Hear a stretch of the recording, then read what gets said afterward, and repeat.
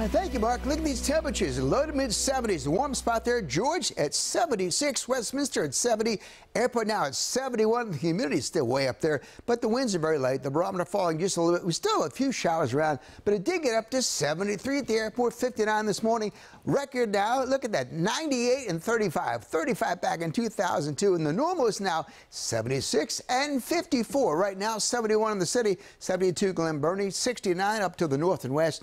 Most places tonight will only drop to around 60 or 62, so a mild night with light winds, but still a risk of some showers. So there's low pressure south of us. It's been sitting around portions of the Tennessee Valley for days. Still raining over eastern Tennessee, western Carolinas. They've had some heavy downpours down there. Some of that will pass south of us. They even have some severe weather watches out for those folks. For us, some of that moisture over West Virginia looks like it's going to maybe head toward a region later on this evening.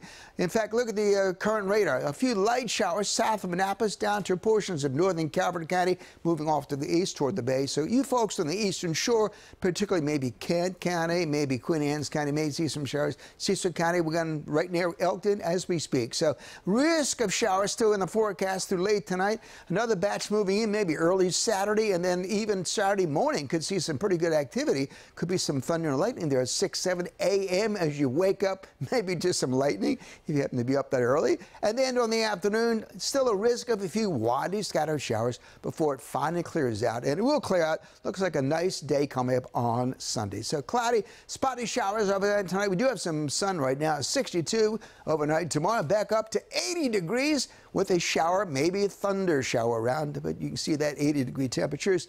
The next seven days, temperatures for the most part for a little bit cooler on Sunday, but after that we warm up. 73, nice day on Memorial Day, 79.